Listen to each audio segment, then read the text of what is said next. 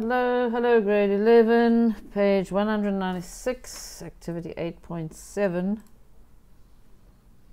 So we're back in the same program with all the dams. And we're going to count names by a letter. So, if you're watching the other videos, then you'll know what's going on. So if you don't know what's going on, go back to all the other videos in this section. Um, previous days, they're all numbered with days of the month of June and May. Right, over here we want to enter a letter of the alphabet and we're going to loop through all the dams to see, count the number of dams that have the name beginning with that letter. Where are we're going to display, we'll display it in the rich edit. Okay. So we're going to go through every single row of the table, TBL dams, and we're going to use dam name, the first character from dam name, and see if that matches the character that the input box has. So, VAR, S, um, S name, colon string, and is name equals input box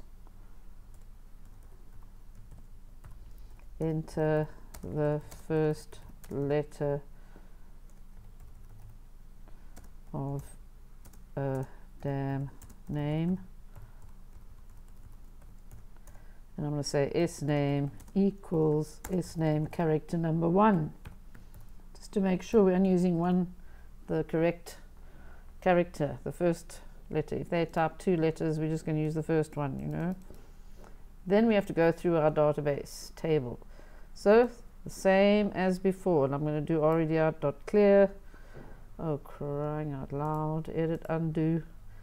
Control C. Control V. Begin and end. TBL dams dot next. Remember, all of these things we have to put in all the time. Now we're going to go through each table and we're going to have another variable. I'm going to call it sdam. I'm going to say sdam equals tbl dam square brackets dam name. Don't forget the inverted commas. And then I'm going to say sdam equals sdam character number 1. Or I could do the following. I could say if s name equals sdam character number 1. See? So s name was already set to the first character.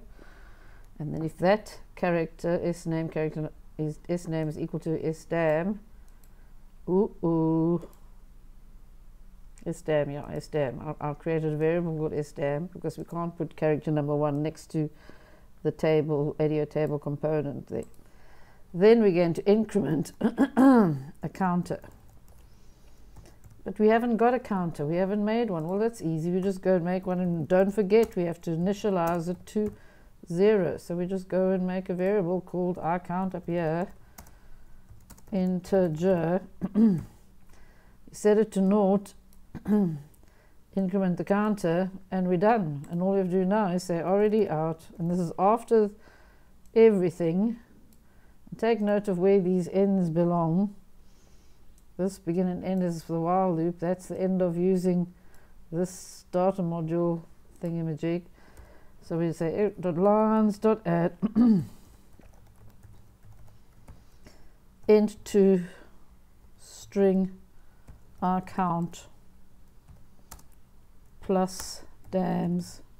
Going to make a nice little sentence here, why not? And then a space dams begin with the letter and then plus s name.